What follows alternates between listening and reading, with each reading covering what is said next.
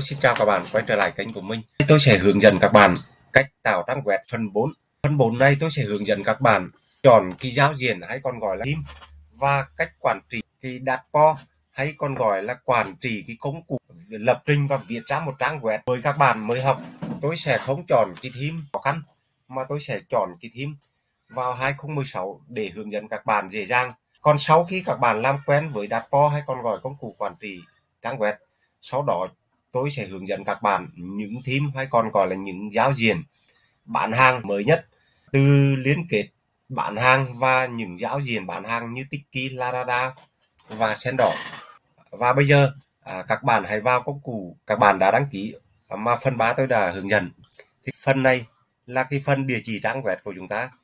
Còn phần này là phần quản trị trang web mà hôm trước chúng ta đang đăng ký. Sau khi vào đến đấy các bạn hãy nhận vào công cụ quản trị trang web của các bạn. Khi vào thì các bạn sẽ thấy cái giao diện này. Đây là một cái trang web hay còn gọi là dashboard, công cụ quản trị trang web của chúng ta. Để làm quen với cái công cụ quản trị trang web này thì hôm nay tôi sẽ hướng dẫn sơ qua để các bạn hiểu.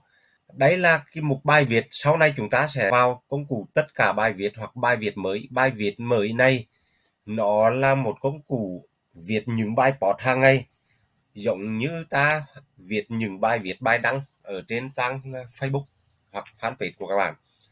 Còn chuyên mục này nó là cũng là một bài viết nhưng nó được hiểu rằng là một bài viết tính nghĩa là những cái bài viết chúng ta giới thiệu chúng ta sẽ cố định và media này là à, những hình ảnh video sau này chúng ta sẽ vào và đăng và chúng ta tải. Còn trang này là và trang mới. Những cái trang mới này là những cái bài viết. Sau này tôi sẽ hướng dẫn các bạn. Và đây phản hồi là chúng ta sẽ kiểm tra những cái tin nhắn trong trang web sau khi khách hàng à, truy cập vào trang web của chúng ta. Còn đây là giao diện. À, thì cái giao diện này thì như tôi đã nói là một cái công cụ hay còn gọi là một gian hàng của giao diện. Tôi gọi đó là thêm và plugin này thì bây giờ các bạn chưa cần hiểu uh, cái này đòi hỏi cần phải nâng cao. Tôi sẽ có những video giới thiệu các bạn về phần sau. Chủ sửa nâng và thành viên này là những thành viên sau này nếu các bạn lớn lên trang web của các bạn thì đổi nhóm của các bạn quản trị thì các bạn sẽ ép cái hồ sơ của những người quản trị trang web cho chúng ta. Và công cụ này à, tôi sẽ hướng dẫn sau. À, và ngày hôm nay những phần cài đặt này à, bạn chưa cần biết nhiều. Và các bạn vào đây thì các bạn sẽ hiểu à, những cái này.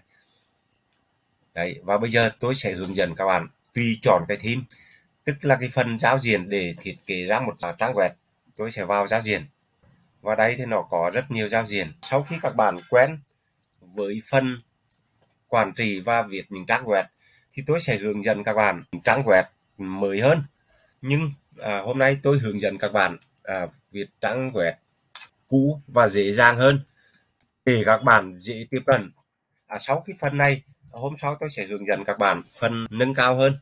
Sau khi vào đến đây thì tôi khuyên các bạn nên dùng cái theme mới này à, cũng như dễ tạo một trang web à, cho những bạn à, mới bắt đầu.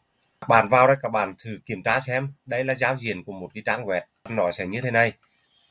À, sau này chúng ta đang còn sẽ sửa chữa nó. À, các bạn có thể cài đặt bằng nhiều cách khác nhau nhưng à, các bạn sau khi kiểm tra vào thử xem. À, các bạn hãy vào cài đặt. Và nó đang tải cài đặt ở đây cho chúng ta. Và sau khi nó cài đặt xong bạn hãy vào kích hoạt. À, sau khi kích hoạt thì như vậy à, ta đã có cái trang web đầu tiên ở đây. Và như vậy trang web của chúng ta chưa có gì.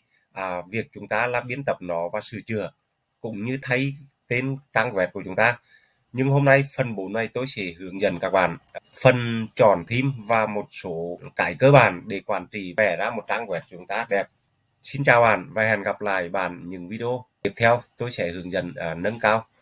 Uh, xin chào bạn và hẹn gặp lại bạn.